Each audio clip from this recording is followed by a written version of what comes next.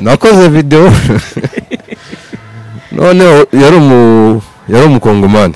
Eh. Mwashutinze nk'ejo. Eh. Agahita aguhamagara uno munsi. Ngo peti ngo videwo yangu iri wapi? Ugahita umubwira. Ndamubita amubwira ndamubwira ati sindakora na kapitire ngo ya we we mpa videwo kapitire uzaba uyikora mu minsi iri imbere. Ok kapitire ku bantu batayizi ni nko gukora kopi ntabwo urakora kopi ubwo videwo urayitanga gute? Videwo buriya ni nk'umukobwa umukobwa nyine a- nta ha- hari ushobora kumunyuraho akabona ni mwiza. Mm hari n'umunyuraho nyine akabona ni mubi. Twari turi muri studio ni gurupe nyine runaka sinshaka kwivuga. Kubyumva. Noneho nsohotse hari ukuntu usohoka hanze.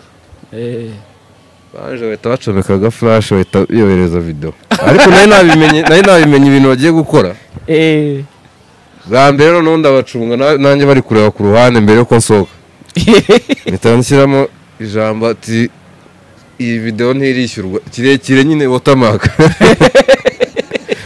noneho barangije bara- aba ariyo bafata orijinali nyine ntigeze nye egisipotinga eh abayifashe babambwira ati ngo ngo turabona bwije ngo ngo tuzavugana ejo. Nanjye ubwo mba nabibonye ndavuga ati sawa nimwigendere bayibye. Hano hari zino televiziyo zino ano ma smart tv nyine. Eh. Yabaga na kumata abasani benshi bakundaga kugenda. Eh. Bagiye gupimiraho videwo nyine ngo barebe karite ko ari sawa. Batumira abantu benshi rwose muze ngo tubereke videwo noneho barangije bahita bampamagara eh babonye nyine icyo kijambo ngo ibintu ngo wanditse ngo muri videwo ni ibiki ko waduteje abantu turabwira ati babwiye videwo ninde wayibahaye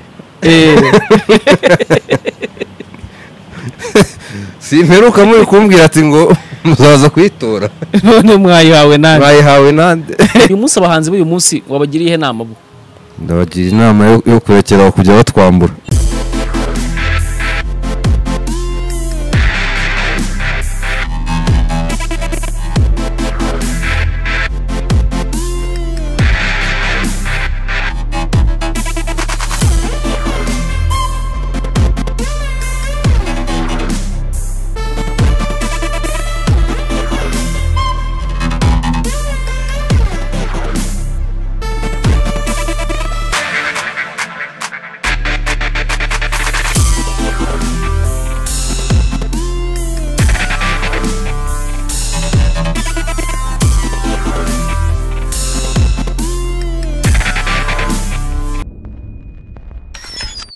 Yes reka nongere mbasubize ndetse mbifurize gukomeza kugubwa neza muba muri mudukurikiranye umunsi ku munsi ndetse mbabwira ngo eh, mukomeze mugubwe neza ndetse mukomeze muhahe muronke mu byo mukora byose.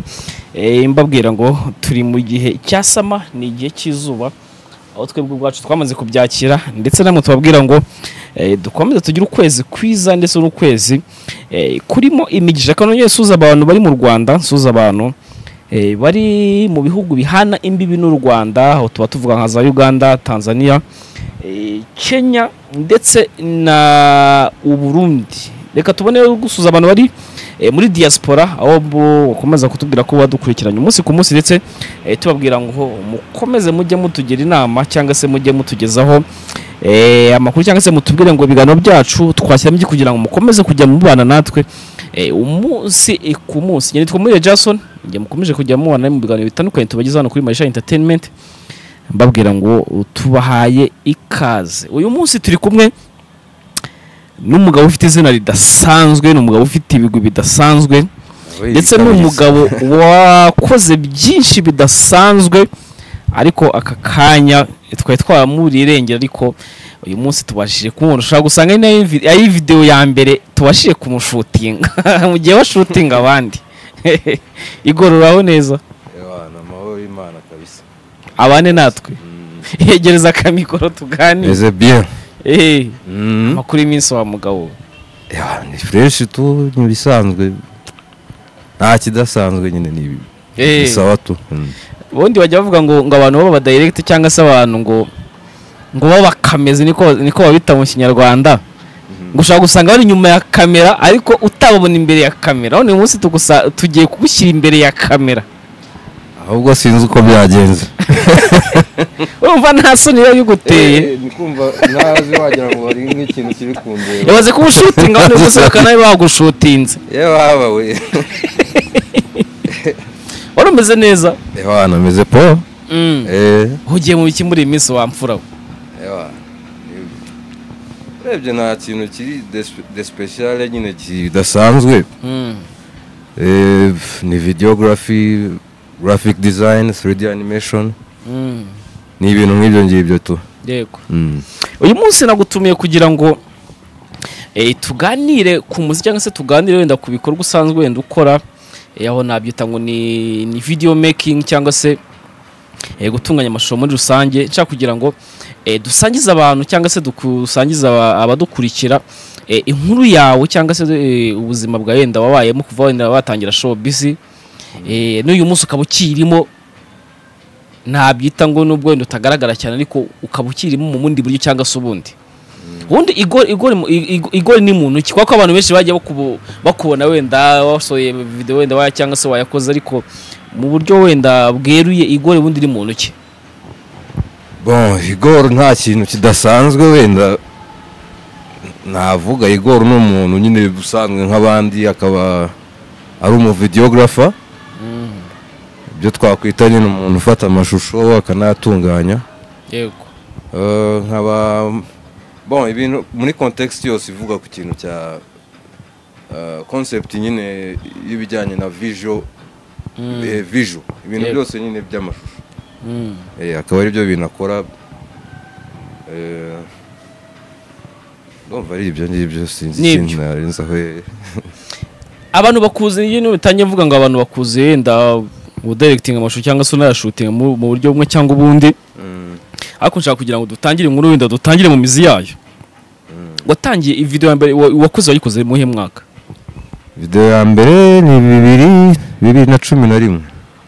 Bibiri na cumi na rimwe. Urayibuka? Iyo video wakoze bwa mbere?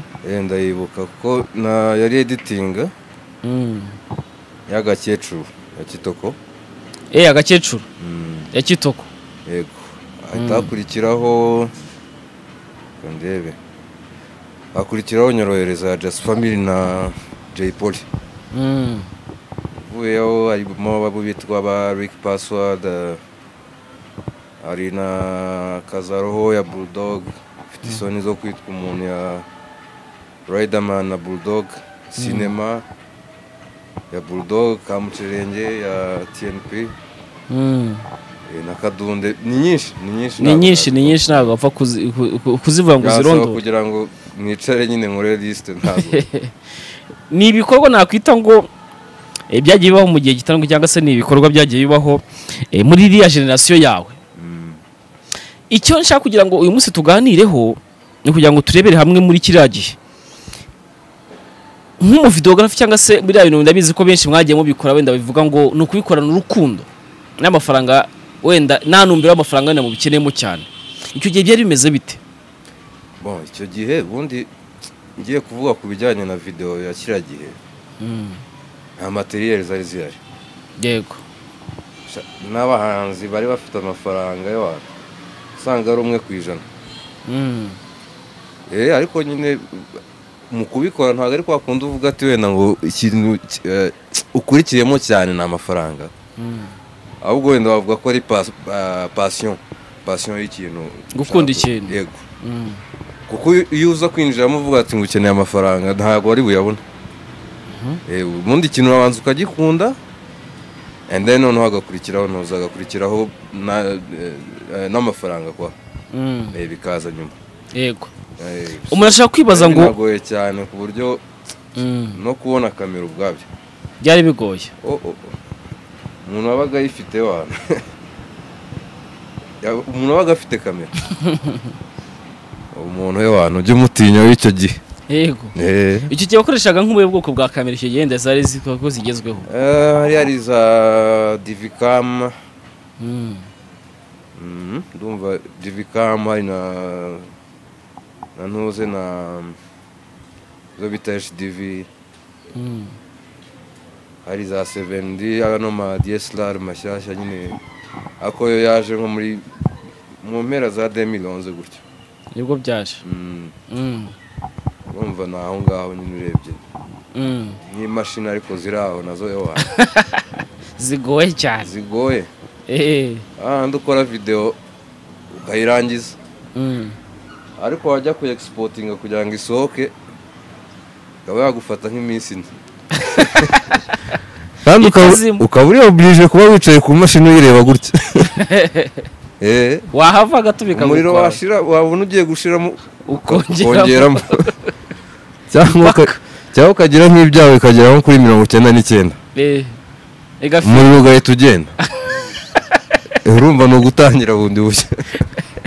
Ya. bisa ni ni challenge challenge za danje. Kwicara kuri mashini iminsi ine. Eh, none se urumva ko nk'ubu ngubu wenda hari ukuntu bafata kadi nyine ukayikura muri kamera ugahita ukora kopi Eh, mbere habagaho ibintu byitwa kapitire eh. ibyo bintu ndakeka ubizi mwajyaga mu mujyi. Ukajya gutondayo umurongo ukishyura vemire zo kugira ngo kapitire yo hano eh? None hari umuntu nashatse kuvuga izina. Nigeze gukorera videwo maze kumushutinga. Ni umuntu ariko si ubwo oya, reka reka ne kumuvuga ntabwo ari wabona ni de benjamin. Oya. nakoze videwo noneho yari umu yari umukongomani Eh, mwashutinze mwashutinze nk'ejo? Eh. agahita aguhamagara uno munsi. Ngo peti ngo videwo yangu iri wapi? Ugahita umubwira. Ndamubita amubwira ndamubwira ati sindakora na kapitire ngo ya we mpa videwo yawe kapitire uzaba uyikora mu minsi iri imbere. Eh? Nteye ubwoba. Ati, washuka inzu uyu munsi ntabwo urakora ok kapitire ku bantu batayizi ni nko gukora kopi ntabwo urakora kopi ubwo videwo urayitanga gute bivuga ngo mwajyaga mu mujyi kwa rubangwa kujya gukora ugatonda kapitine umurongo eh kuri za- twari udukasete twari udutepu nyine dutoya. dutepu. Mm, yego abembwiye naramuhamagaye namubwira ati musa ngwino nguhereze kasete zawe niba muri introduction bitangiye gutya ubwo wowe uzanzengereza. Akazi kaba gapfuye gutyo. Ndayimuhereza nanga kuko Eh. ndi umuntu nyine uri uri Mm, niko nabyita. Yego. So iyo umuntu ashatse nko ku- kunshyiraho pressure cyane uh-uh, ntago sinzi guforsa tu. Biba birangiye ntago nzi guforsa nyine ngo ngo njye yarampatiriza ikintu kandi mbona yuko kidashoboka. Mm, Eh, ikidashoboka niyo cyaba gishoboka ariko ngereza umwanya wacyo nyine nkabaza nkaki- mm, nkakigaho tu yego. Eh, atari ukukibu- kugihubukira gutyo. Eh. Mm. abantu benshi baribaza ngo kuba ibyo bintu babikoraga muri kiriya gihe urumva ko biba byumvikana yuko ushobora kuba wenda waranabyize cyangwa se ntabwo ari ibintu bishobora kuza mu nzozi ngo uhite ubyuka mu gitondo ubikore wabyigiye he? Sha, nta- ntabwo navuga ngo baranabyigiye Mm, nyine nko kuvuga ngo wenda ngo hari institution runaka nagiyemo ngo mbyigire yego. Eh, ni kwa kundi cya kintu nakubwiraga cyo gukunda ikintu kwanza then noneho ugashaka n'aba bantu nyine bakirimo.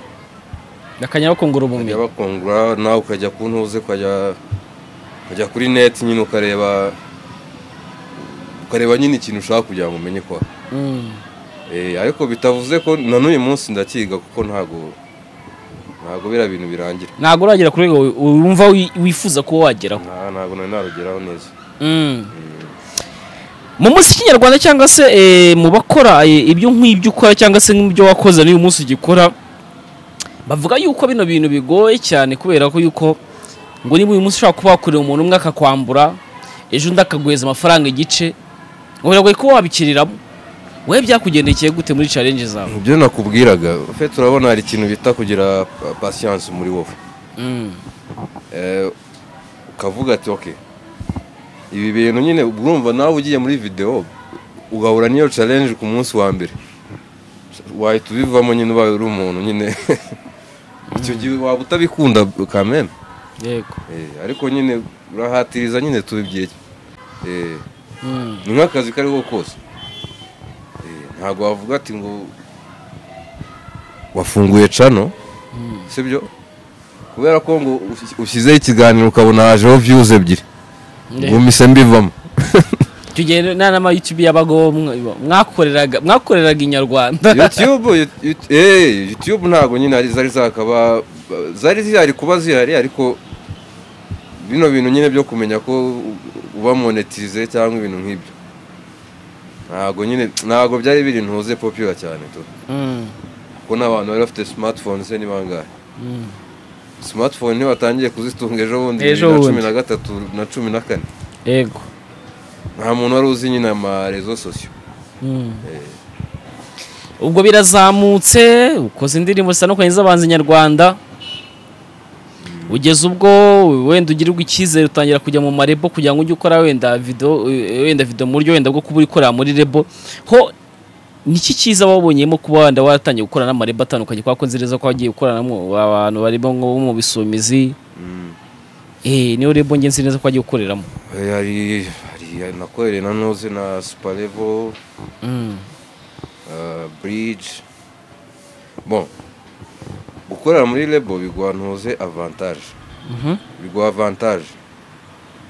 Nyine ugira icyo twakwita visibility nyine. Yego. Ibikorwa byawe nyine abantu bakabasha kugira gute? Kubibona. Kubibona mm. ariko nyine iyo utari muri lebo nabwo nyine ntibivuze ko na byo ari bibi. Niyo utari muri lebo iyo utari muri lebo kugira ngo umuntu azakwizere nyine aze mukorane. Mm. Eh, byabaga bigoye. Urumva wakoreraga umuntu umwe niba nkoreye mico icyo gihe agahita haza n'abandi nyine nabo bahita baprofitiraho bakavuga ati "Uyu reka dukorane n'uyu muntu. Yego. Eh, niba ukoreye ankositini bikaba ari sawa. Bikaba ari akarusho. Yego. Bikazamuka muri ubwo buryo. Bikazamuka muri ubwo buryo urumva icyo gihe na nka va- va- valeri yawe Eh, valeri yawe irazamuka. Mm. Eh, irazamuka ariko nabwo utagira ngo ni ukujya muri lebo gusa ugomba no gukora nyine ibintu biri bikonvenka abantu nyine. Mm. kujya muri lebo ntabwo ari byo byonyine gusa tu. Yego. Lebo biza ari akantu ari ajwe. Ari akantu ko, kiyongeraho. Ariko icya mbere nyine ni ya ntuze ni ya determination yo gukora ikintu kizima. Gikonvenka abantu. Ibindi byose nyine bi- biza ari inyongera tu. Mm. yego. Nuko uragiye uzamuye urwego rwawe ugeze mu cyitwa ibisumizi ndetse yari rebo inakomeye cyane kurusha izindi rebo nitaga ko wenda mbona wenda mu maso cyangwa se twumvaga. Cyane cyane ko nubwo hari harimo Riderman kandi yari umuraperi ukomeye cyane kurusha abandi. Eh, witwaga witwaga Jay Polly nawe nyakwigendera ntabwo wenda yakajya eh, eh, ntabwo yari afite rebo wenda abarizwamo wenda nubwo nyuma yenda byaje kuboneka. Ariko yari rebo icigatiye abahanzi benshi. Niba rero yari ifite ba social muri aba Amag the Black ba ba Queen Cha eh, yari ifite abapolisi bakomeye barimo nka ba T Brown n'ubundi mwakoranaga. Nawe ubaye nk'umwe mu bantu bagomba gutunganya amashusho yabo. Niki byagufashije muri kariyeri yawe? Ibyo nakubwiraga byafashije. Urumva iyo uri- muri iyo field nyine. Yego. Nkuko nk'uko nakoreye mu bisumizi. Mu bisumizi twari tumeze nka famiye yego.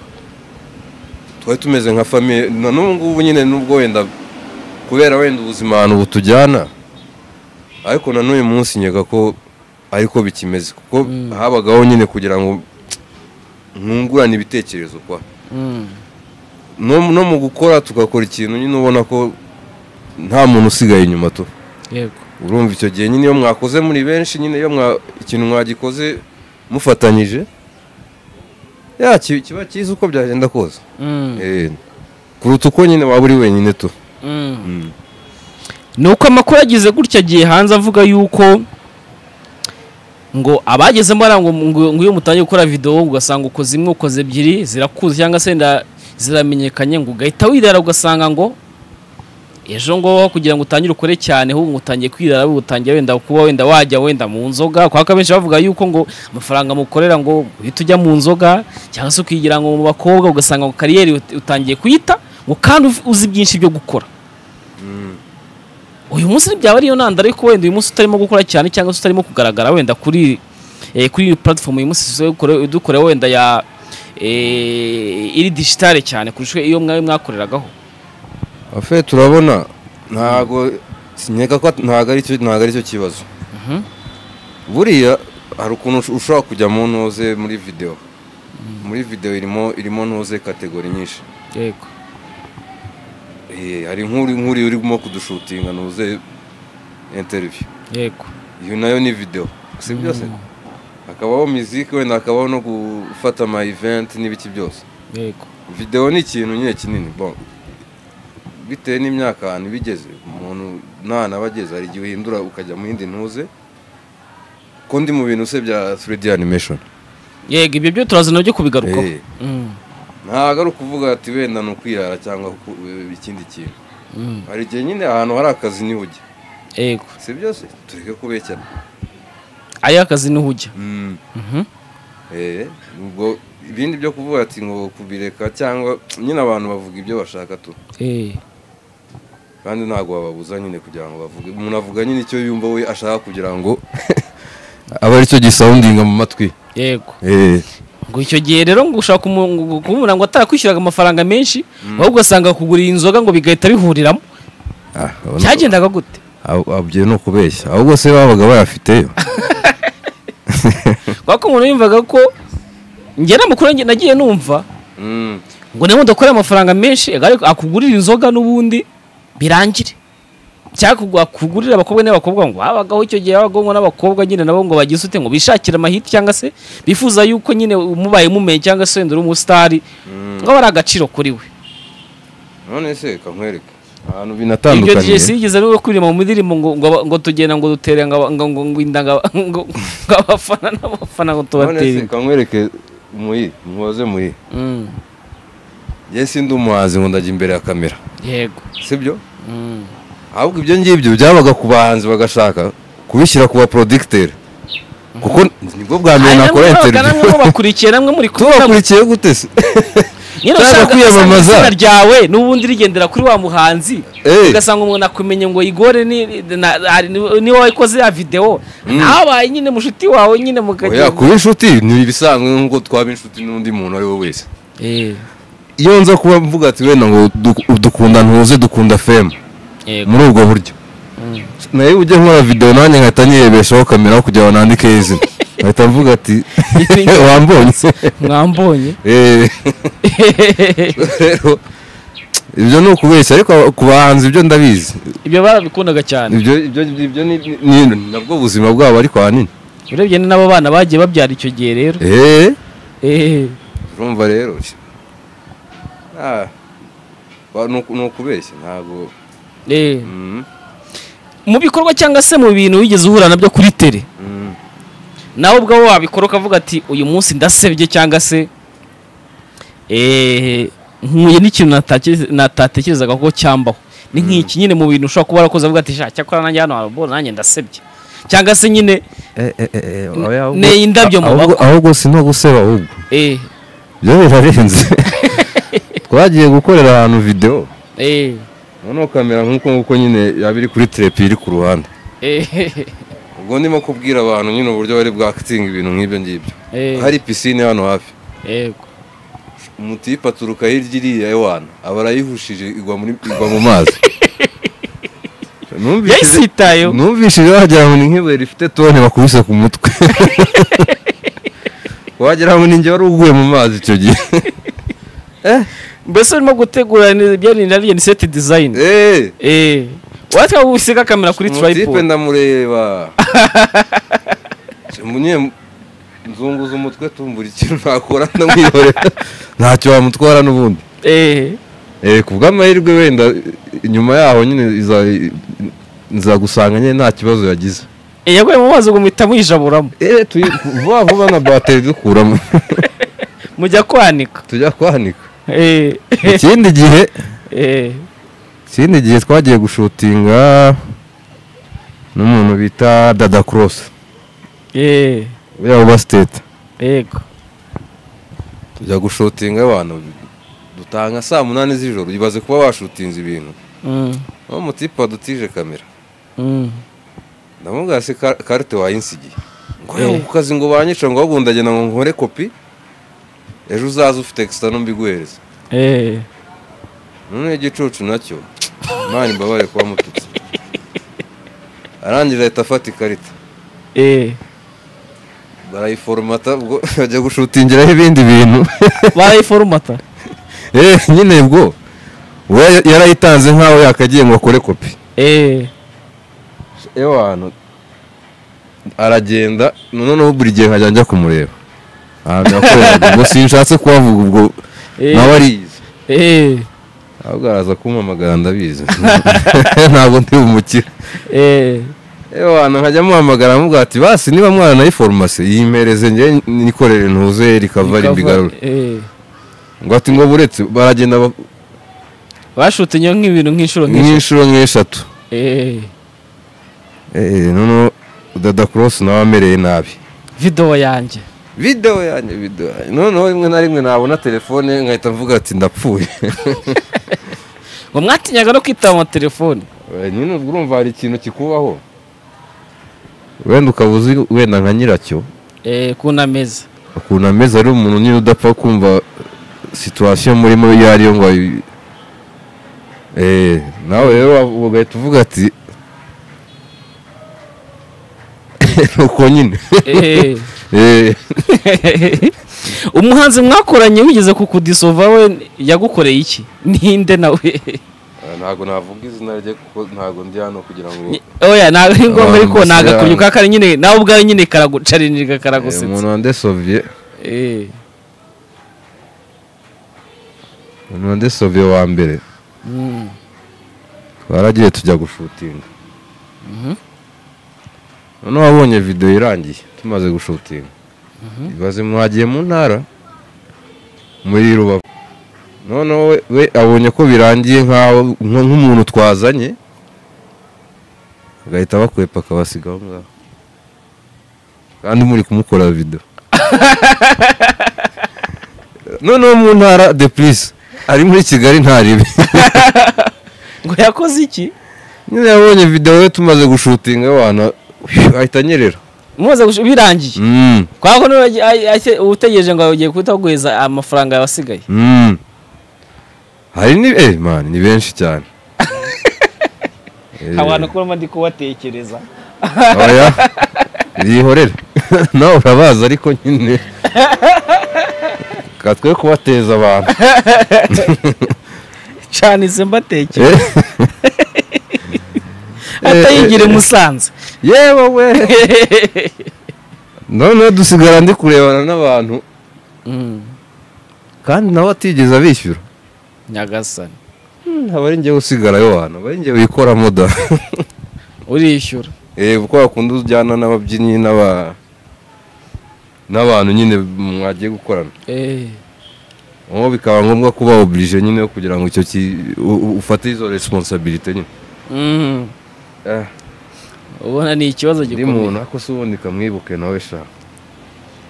Undi ninde? Si- ntabwo ndi buvuge izina nuvuga amazina nta kibazo. Eh. Mm. undi nawe. Ariko nanjye naramwishyuye. Twagiye gushutinga Mm. oya na- na- na- nakoze video ye ndayirangiza. Eh. ariko we ntabwo ari umuhanzi. Mhm. Iyo tipe yari afite ideni ry'abo rya- ry'abo basani Mm. baraje nyine ahita ambwira uburyo harimo amafaranga nyine afatika ubwo n'umubare nawe ntabwo muvuga Mm. nanjye mba ndashyushye ndagenda ndabashutinga abo bantu simbazi maze kubashutinga videwo ndayirangiza nta n'atanu nabasabye Mm. noneho baza kuyitora ndayibahereza nyamafaranga baguhaye nabwo Oya, ndayibahereza nyine ntegereje ko bibwiriza baravuga ati ngo none se undi nawe ati ngo none se Mm. runaka ntabwo wigeze akubwira gahunda ukuntu zimeze Eh. ukumva yari adufitiye ideni ahubwo tubwira ati ndabakoreshereza videwo Eh. urumva abo ngabo bo bararenganaga Mm. Ahubwo umuntu wakoze iyo aferi nyine ni we ni we ni we nagombaga kujya kureba. Niyo cyari ikibazo. Noneho muhamagaye ahita avuga ati ngo ihangane sha. Kandi video yarangiye. Videwo nayitanze nyine. Eh. Abandi bantu ariko abandi bantu nabo bash- bashatse kubigerageza. Twari turi muri studio. Mwe muri? Twari turi muri studio. Ni gurupe nyine runaka sinshaka kwivuga. uri kubyumva? Noneho nsohotse hari ukuntu usohoka hanze. Eh. Baje bahita bacomeka agafurashi bahita biyohereza videwo ariko nari nabimenye nari nabimenye ibintu bagiye gukora. Eh. Bwa mbere noneho ndabacunga na- nanjye bari kureba ku ruhande mbere yuko nsohoka. Mpita nshyiramo ijambo ati iyi videwo ntirishyurwa. Kirekire nyine watamaka noneho barangije bara- aba ariyo bafata. orijinali nyine ntigeze nye egisipotinga eh abayifashe barambwira ati ngo ngo turabona bwije ngo ngo tuzavugana ejo nanjye ubwo nayibonye ndavuga ati sawa nimwigendere bayibye noneho hari zino televiziyo zino ano ma smart tv nyine. Eh yabaga na kumata niba abasani benshi bakundaga kugenda. Eh bagiye gupimiraho videwo nyine ngo barebe karite ko ari sawa. eh. Batumira abantu benshi rwose. Muze ngo tubereke videwo aho hanze aho hanze ni bande koko. Ntabwo ntabavuga ni gurupe tu. Kandi Eh. bagacishije numva ngo bizaye nyihanga amaso. Noneho barangije bahita bampamagara eh. Babonye nyine icyo kijambo. Ngo ibintu ngo wanditse ngo muri videwo ni ibiki ko waduteje abantu? Turabwira ati sabwa iyo videwo ninde wayibahaye? Eh. Simperuka muri kumbwira ati ngo muzaza kuyitora none mwayihawe nande? Bayihawe nande? Wakishyizemo gutya se? Eh bana buri nyuma kirimo hagati y'abantu nta kindi kintu wakora. Handitsemo ngo iki? Iyi videwo ntabwo irishyurwa kwa kuntu ukirambikamo nyine abafite muri ino kariyeri nyine habamo ama challenge ni menshi cyane ntabwo hari n'ayo mba ntibuka tu ntabwo bwakwira bugake ntabwo wabirangiza muba mugiye mufashe inuza studio y'igisumizi cyangwa se igisumizi gikuru muyikubise hasi. Mm. Ibirarindimutse namwe ubwanyu tujya tubabura irengero. Byagenze bite? Mm ngo ngo witwa T Brown ngo ngo baramwirukanye ngo azize yuko ngo ngo ngo ngo, ngo niba ni amakuru yagiye avugwa. Ngo yasambanyije umwana muri studio. Ni kandi bavuga ngo ni fearless. Reka bivuga ni gutyo. fearless niko bavugaga kuko nanjye icyo gihe nari mpari ahubwo Mhm. ukuntu abantu bagirana ikibazo. Ni no mu buzima busanzwe tu. Mm. umuntu akaba ya- akaba yaguhimbira nk'ikintu. Yego. Ibyo byo ntago nanone sinavuga ngo wenda niko bimeze Mm. kuko sinari mpari sindi umuntu wo kubihamya wenda ngo niko byagenze. Urashaka kumwumvisha sound? Ngo akinga studio. Ariko se nk'ako kantu ka sound ubu ka- kazanye. Nta makuru yavuzwe. urashaka sound ngo akinga Ah, studio. ngo wumve sound. Nk'uko nk'uko nyine nk'uko wabyumvise. Nanjye niko nabyumvise. Kuko ntago napfa guhamya ikintu. Ntazi ko ntigeze nibonera n'amaso yanjye. Yego. Eh, ariko ibyo kuvuga ngo kurindimuka buri muntu wese nyine ni byo nakubwiraga. Buri muntu wese ntago abantu mubana kugira ngo mukazabana paka. Mm. iteka ryose wapi? Hari igihe kigera nyine umwe agashaka ahantu nyine hari ibirayi nyine akaba ariho ujya Mm. Eh. ngo icyo gihe nawe ngo nibo isi uba muri iyo studio Mm. amakuru agaruka mu bitangazamakuru bitandukanye Oya. bavuga ngo Mm. ngo igore iki ngo yabazwe ngo niyo- ngo ngo baramusindishije ngo yirirwa ngo gukora amafaranga hakubitiraho andi makuru usize ngo wagiye ngo hakurya ngo y'amazi ngo nibo ngo bakujyanye ngo kubera ngo ibiyobyabwenge byagenze bite ni amagambo y'abantu nyine. Mm. ni izina ry'imana. Nonese ko hari n'umuntu ushobora kuza sibyo icya mbere ntabwo mubana nyine mu buzima busanzwe. Mm. So, rero ni ukuvuga ngo ikintu cyose yakora cya- cya- cyamuha concept yo kugira ngo yandike cyangwa akore ikintu runaka abone views wenda cyangwa ibindi bintu yego. akora ibishoboka byose niyo byaba ari ukubeshya. Mm. so rero muri ibyo byose nta na kimwe cyabayemo. Nta na kimwe? Mm, ibyo kujyana iwawe na byo nta- nta ni rumazi. Ni ngo Riderman ngo niyishyura ngo abagomba kugura abantu mayoga ngo bikarangirira iyo ngo ntajya yishyura ngo agura abantu inzoga ngo bagasinda. Mm. inzoga ze ntabwo wazimuburana niko kuri niko kuri. None se wenda niba hari nk'umuntu yambuye tuzi ribahaniwe kuki atagiye kurega sha mwo kujyamo umurengera ndabizi neza ko nta muntu wese wakoze ko ko bamuvuga nabi kurega oya njye njye yankoreye ikintu kibi namuvuga Mhm. eh uri kubyumva yego uwo muntu nyine wavuze ayo magambo Hmm? ribu buri muntu wese aramwakira akora n'abantu bafite ubwenge gusa ngo ntabwo ajya akora n'abantu b'injiji ibyo ni byiza nyine ba fa- ba- ba- ba- ba Fasi- Faceboy nawe se se umupolisi wanyu Mm. Uyu munsi sigaye numva ngo yaragarutse ngo ngo asigaye ngo akorayo. Eh, eee urumva? ni we byarangiye nyine bamuzingishije utwangushye. Byararangiye. Urumva icyo gihe umuntu aba atakwishyura sibyo? Mhm. njye numva amaze kumukora. De benjamin nawe ngo mwara- mwarakoranye. Eh twa benjamin ubu ngo nta muntu twarakoranye ushobora kubi ariko siya mbona akora nk'akavido kamwe mu mwaka. Ariko nyine ni byo nakubwiraga eee abaye aba atarigeze anyishyura. Sibyo? Ese mwakora videwo imwe ebyiri eshatu enye eshanu esheshatu zirindwi. Mukazamuka. Ari uko nguko bimeze. Gushaka gusanga nyine ubwo ari injuga nyine akubwira ngo nzayagura Oya, ejo agukora injuga yagutera injuga inshuro zingahe ntabwo bibaho. Ni ikibazo. Eh, eee ntabwo bibaho kabisa. Eee n'uwo wenda ushobora kuvuga ibyo bintu. Nta- muntu nyine navuga yuko wenda ari inosa nyine. Nta muntu uri perfect ubaho. Yego. Umuntu wenda ashobora kuba wenda ari nk'umuntu wenda bahuriye mu gatenke runaka. Mm, kuko nawe ntabwo ari umwere Riderman sibyo? Yego.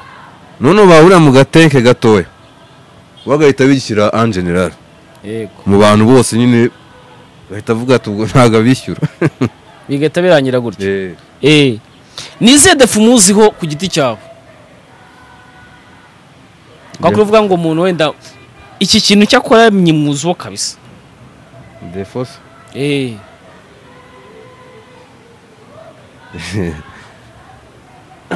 koko nta muntu nta muntu ubura defo eh, ziba ari negative cyangwa ziba ziri positive ubwo nawe ndimo kuyishaka Mm.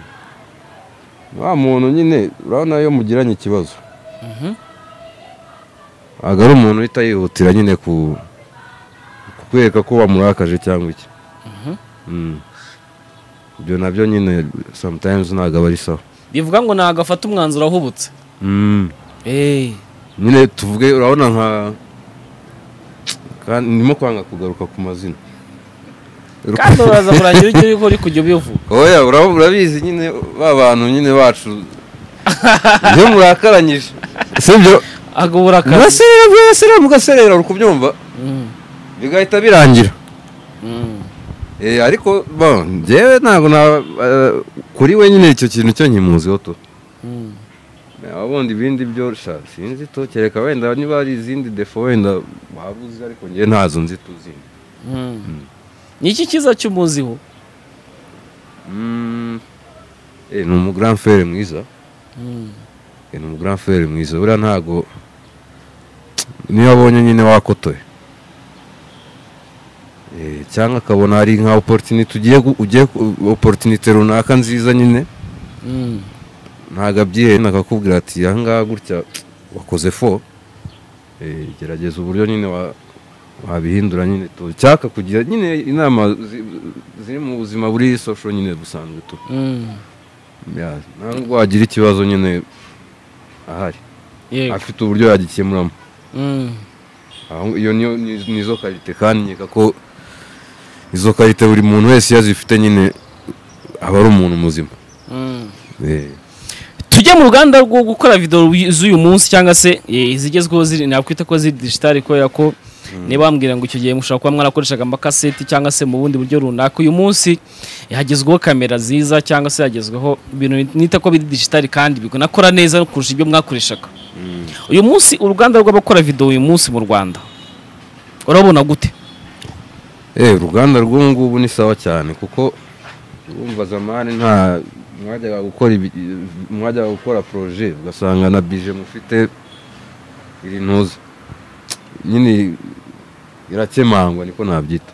Mm, nyine ukaba uri limite nyine hari ibintu uta- utakora. Yego. Ariko uyu munsi nyine kuko ah, amafaranga arimo ubu ngubu.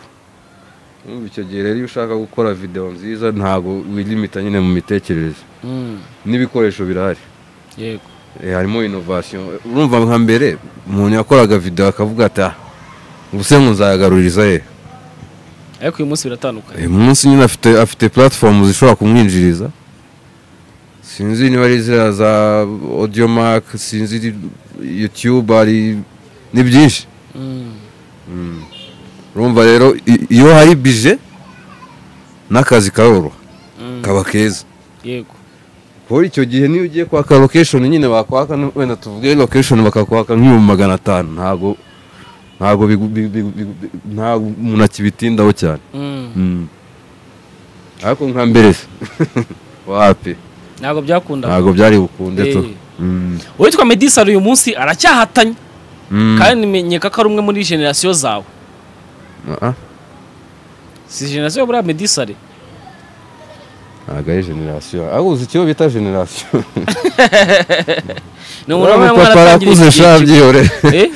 uriya ni generasiyo y'abantuze aba dms icyo gihe narakoraga se we ntabwo wari wakaza Ah, kare kare wa kgb reka nawe rero uyu munsi ko umva aracyahatana njye nakubwiraga nyine iyo umuntu iyo ukoze ikintu ukabona ukabona nyine kirimo kukwinjiriza nyine ari cyo ki- kiri main nyine.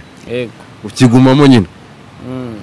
none se nameless campus yavuye muri video ari uko byamunaniye? Ushobora gusanga amafaranga akeneye wenda tuba batayamuhereza none se. Cyangwa akabona ikindi kintu? Ari gukina playstation. Nta ribi ariko upfa kuba yinjiza. Eh. Wese wayikina nta mafaranga ufite. Ntabwo byakunda ntabwo uwo mwanya ntabwo wawubona Mm. Eh. mu ba video director uyu munsi uri guhereza amahirwe cyangwa se uvuga ati uyu muntu arakora neza ninde Ewana Faizo ameze bien kabisa out. Mm. Uh, uwo bita hari n'undi mutipe bita Taher. Mm. Eh Taher nawe ni sawa. Mhm. Undi muntu nindera. Hari- harimo abandi bantu ariko nyine ntapfa kumenya amazina yabo ni benshi ariko abo ngabo bo nzi ko bameze bien kandi courage kabisa yego iyo ugejeje kuganira n'abantu batandukanye cyangwa se mu bantu bakuzi ni nka cya kibazo wambazaga mariva se byari byamunaniye mariva se ariko mariva se gaba hehe afite ibindi nyine nawe arimo nyine bifite inyungu ko tu. mariva yaburiwe irengero ntabwo ari ukuburirwa irengero ese umubwiye gukora videwo n'ibikoresho arabifite. Ntagatira nyine nta puresha nyine afite tu. Ariko ngo ngo ngo editing ye ngo ni hafi ya na yo. Ubanza agaterura amashusho akegeranya gusa abo ni amagambo agashyiraho grading gusa agahita export. nk'uwo muntu ubundi hari akantu Gilbert yari yarambwiye zamani. Nukora videwo umuntu akaza akayikritika. Uzi ko adakora videwo zamubwira ati nawe jya kuri tera ukore iyawe ibereye amaso yawe. Ngo mariva rero, ntago- slow motion. Oya ukubeshya Atereka. mariva mariva ni umuhanga mani Eh. ngo ariko igishusho cyo ngo cyabaga ari danje. Eh, ikifananye igifananye ngo ariko ngo ngumva? Mm. ngo katinga ari hafi ya na yo? Akareka ni amagambo y'abantu ahubwo si uwo wabivuze we yakoze iyi? Ntabwo nzi ibyo yakoze. Ushobora gusanga yarakoze neza. nakubwiraga nyine umuntu ushobora gusanga yarakoze tindatini Eh, urabona videwo ukuntu imeze? Eh. videwo videwo buriya ni nk'umukobwa. Mm. Umukobwa nyine hari ushobora kumunyuraho akabona ni mwiza. Mm. hari n'umunyuraho nyine akabona ni mubi. Akabona ni mubi kabisa. Eh, so rero urumva uwo nguwo rero niba yarabonaga nyine afite katingi mbi ubwo azaza niko- mukatingire eh, ubwo ubwo ubwo we niko yabibonaga. Mhm. ntabwo wa- ntabwo watinda ku muntu nyine tu. Ngo uyu munsi ngo umwe mu baha urimo mu ba director bashaka kuba ngo bafite inararibonye muri bino bintu ngo ndetse ngo uyu munsi ngo umwe mu bantu ushaka kuba nakiyambazwa mu bikorwa bimwe cyangwa ibindi. Mu bintu uyu munsi we- we- nawe uvuga ati byo byose ndamutse nicaye kuri iki kintu nta wundi muntu wamvanaho wumva ko ari nk'icyo ushobora kuba uzi neza ko nta wundi muntu aza ngo ahita agusimbura uyu munsi wenda mu rwanda. Ubwo wenda navuga wenda ko ari ukwiyaminiya. Yego ariko buriya buri muntu wese agira umusimbura. Yego Eh, ariko eh, grading tu. Grading? Mm, ubwo muri tekinike babizi ubwo babyumvise? barabizi Mm. eh. Icyo cyo wantu nanjye ndi mm, uriyemera shaka bisa reka mbivuge. Eh, n'ibindi na byo ni sawa ariko grading cyangwa graphic design. Ibyo ibyo bintu bibiri. Mm. aho ngaho ho ewana Eh, aho ngaho mpita ewana sinzi twagereka. Aho mwagereka. Eh, aho ntiwasinzira. Eh. Eh, ibindi wenda bishobora kuba eh, wenda cyangwa wasanga wenda ari ari- ariko mbibona wenda abandi babibona nabi. Mm. Eh, ariko njyewe ku giti cyanjye ni uko nguko tu. Ya, cyashana nawe baracyaterekamo ya maboro ngo najya ngo ni amatampureti wegekaho biriya bitera ubunebwe none se ubwo ubaye udafite interineti wakora iki ubwo nyine ubwo wayishaka. akazi ubwo kapfa ngo kubera ko neti yabuze cyangwa ukajya wenda nk'ahantu hataba interineti byagukoraho byagukoraho nta kintu kizima wakora Eh. Ejo bundi hari filime yasohotse ya 3D animation wakozeho ndetse abantu baza no kwira bavuga ati eh igore burya bya bintu burya arabizi neza kabisa. Ibyo byo byaje ryari watangiye kubikora ryari? Cyangwa unyuye utunyure muri ya story nyine uko byagiye Eh, story y'uburyo bya 3D animation byatangiye se. Mm. turabona mu buzima busanzwe nzi gushushanya yego. So rero ntabwo nta nubwo byatangiye kera cyane ni imbere ya covid nk'imyaka nk'ibiri. Mm. Eh, ariko noneho muri covid rero hari ukuntu ikintu uba usanzwe ukizi ariko ugifiteho notion. Ariko nyine uda- udakunda kub- kub- kubyikaragamo cyane. Mm. Eh, muri covid hari ukuntu umuntu aba atuje uzi ko nyine nta noze nta bindi bintu urimo gukora. Yego. So ntangira kwidokimanta gutyo bon. No kugira ngo iriya filime tuyikore igitekerezo ubundi nuko uh, mu boss twakoranaga. Mm. umuhinde ni we neretse nyine akantu gato nyine nari nakoze ka hari advert nari narakoze ya engine. Yego. Bimweretse ahita ambwira ati se ko mfite ya ahangaha twakora movie. Mm. ndavuga ati twayikora. Ahita ambaza ikintu nyine cyakenerwa ta ta ta ta byose ndabimubwira eh urumva rero tubitangira gutyo tu ubw'amahirwe nyine kubera ko umuntu ya- yabaye concentré nyine kuri icyo kintu bigera aho ngaho nyine bivamo birakunda bivuga ngo ubwo no kuri ayo mashusho wenda ya 3D animation Mm. uyu munsi ushaka kwicara ukavuga ati nta muntu nanjye wazana nanjye ngo amvane ku sha ntebe ntawe. Nari nanabyibagiwe ntawe ntawe ewana. Kwicaraho na- umva nawe nawe wakoza ngo yisereganye. Niba ashake bajye kundega ariko nawe. Ntawe bivuga ngo kano kanya ni we cyangwa wenda akaba ntari ariko ntamuzi. Azaze ariko sofa nyine ntawe na- nabona. Nawe. Mm. harya isi no ku ma youtube iriya nuzara? Eh nari nashyizeho chapter ebyiri. Eh. Ah, hari hasigaye chapter izindi ebyiri ariko na zo nza- nzazishyiraho to nta kibazo. Mm, na zo zifite? Mm. yego. Eh. nshaka kugira ngo noneho tujye baba kubiteka link ahubwo barebe. Nzakabahamo banakarebe bana- banarebe n'ibintu wakoze ibyo ari byo. Mm. Wenda nshaka kugira ngo noneho tujye utaza kugira ngo ndimo kwi- ndimo kwi- ndimo- ndimo kwikomanga agatuza nta kintu gihari. Yego. Nshaka kugira ngo noneho uyu munsi wenda eh, tuvuge cyangwa se turebere hamwe hari ukuntu umuhanzi cyangwa se eh, umuntu ukora muzika nyarwanda cyangwa se wenda eh, ibihangano muri rusange avuga ngo iyi video ntabwo iri kuri standard Mm. kuko uyu munsi wenda ushobora kuba wajyana nk'indirimbo wenda nko kuri eh, nko wenda nko kuri za MTV wenda kuvuga ati indirimbo ntabwo iri kuri standard Mm. kandi ugasaba umuhanzi yiriye yimaze ngo yakoze indirimbo ya danje ariko ngo itari kuri standard cyangwa se yajyana nko kuri radiyo runaka bavuga ngo iyi audio ngo ntabwo igize ute Ntabwo iri kuri iri kuri ibyo bintu ubyumva gute cyangwa se video iri kuri standard iba ifite ibihe bintu runaka nyine muri tekinike zanyu icya mbere cya tekinike cyo kiza nyuma ubundi icya mbere gituma video ijya kuri standard ni concept y'ikintu muri gukora ubwo ni script nyine nyine ibintu ubona ko ushobora kwereka umuntu nyine akaba ya- ya- yasubiza inyuma kongera akareba. Ya concept nyine. Iri eh icyo ni cyo cya mbere naho ubundi materiel zo umuntu ashobora no gukora video ifite karita ariko dore ko uyu munsi bakoresha n'amatelefone ugasanga umuntu akoresheje telefone. Eh ibyo byo cyane. Na iPhone ushaka wayikoresha. Ariko nyine ni bya kintu nakubwiraga ko ufite ushaka video wayijugunya mu ntuze Mm. muri puberi waba ugiye kuyatwika. Mm. Mm. Nta kindi nta kindi bon kamera n'ibikoresho yego biza bi- bizamo ariko icya mbere nyine ni icyo ngicyo.